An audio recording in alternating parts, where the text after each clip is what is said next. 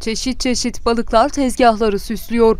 Palamuttan sonra başlayan hamsi yerini istavrite bırakmaya hazırlanıyor. Şu an mesela görüyorsunuz revaçta olan mesela istavrit gayet de sezonun boyutunun üstünde bir istavrit.